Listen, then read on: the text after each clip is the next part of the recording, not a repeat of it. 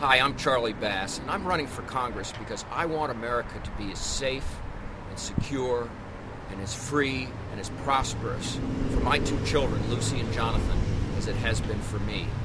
And I really don't think America is headed in that direction. We cannot survive trillion and a half dollar deficits for the next 10 years. We can't survive government that grows so fast and collects so little to pay for its costs uh, that we end up in economic bankruptcy in four or five years. And I believe that I have the experience and the understanding of the system in Washington to really make a difference from the beginning.